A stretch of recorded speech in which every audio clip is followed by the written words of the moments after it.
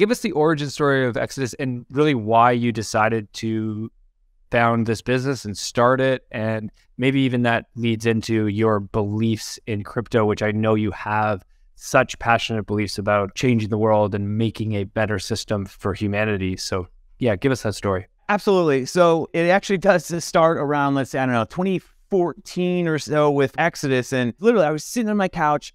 I was not wearing a unicorn costume.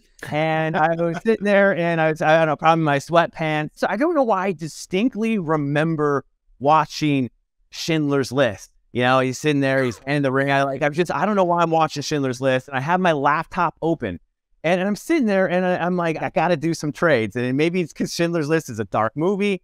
And, and I'm like, I got to do some trades. And so I'm on this exchange. I couldn't even tell you which one. I noticed there is a coin, I think it was called Dark Coin, which now is Dash today, is Dash. And I was looking and on coinmarketcap.com, like it was going up and going down. I'm like, oh, this is really cool. I'm going to start speculating on this. I'm going to buy a little bit and sell some later or whatever. I started doing that. And I realized, like, wow, this is a lot of fun. It is a lot of fun to buy these assets and just kind of watch the price go up and down and, and do some speculation. This is a lot of fun. Now, on the side, I was already building a Bitcoin wallet mm-hmm. called Coinbolt. A lot of people don't know this because if, if you go and you Google Coinbolt right now, you will see the screenshots of Coinbolt and you will go, oh my gosh, that looks terrible. And that Coinbolt, B O L T? Yes, yeah, Coinbolt. So, and I was also told at this moment, around this moment, that you'll never monetize a wallet. That's what I was told constantly by investors. You'll never monetize a wallet. You'll never find a way to monetize. Mm. Like, come on. A wallet stores money. There's got to be a way to monetize. So my background is as an engineer. I'm a software engineer by trade. And so again, you know, fast forward here, I'm sitting on the couch and I'm speculating on these assets and I'm trying to figure this all out. And I knew my co-founder of Exodus at this time. We weren't co-founders yet.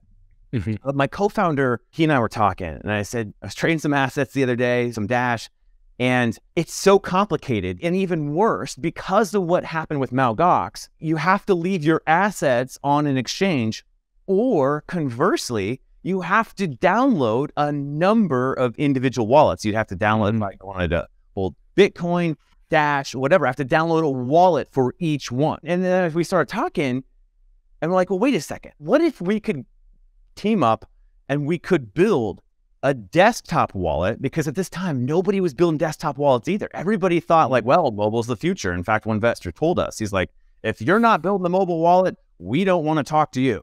I'm like, and again, remember guys, this is a time frame of 2014, 2015, and trading at that moment was on exchanges, right? And on mm-hmm. exchanges, people, there were no mobile apps to trade on exchange. You did it on a desktop. So that's where we started. We're like, we're going to build an experience where a person can easily download Exodus, manage an entire portfolio of crypto, and then be able to swap from one to the other. And that's how this all started. And, and the swap part is, is actually how we make our money. But that's where it really, really began.